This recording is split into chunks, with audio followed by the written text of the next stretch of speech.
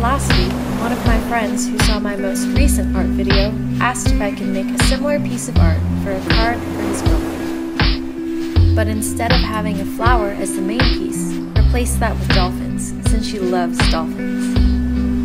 My friend and his girlfriend are currently long distance and have been sending actual handwritten letters to each other. I just think that's so sweet. Because of that, I wanted to make this card extra special, so I added more details and went a little more extra on this piece than the last one I made.